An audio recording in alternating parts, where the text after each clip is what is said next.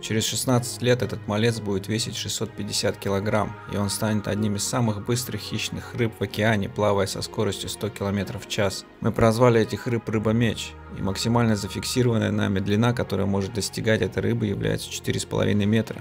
Питаются же эти рыбы в основном кальмарами и мелкой рыбой, которую могут проглотить целиком, так как у них нет зубов. И за раз самка рыбы-меч может откладывать до 29 миллионов икринок. Ареал обитания этих рыб отмечен синим на этой карте,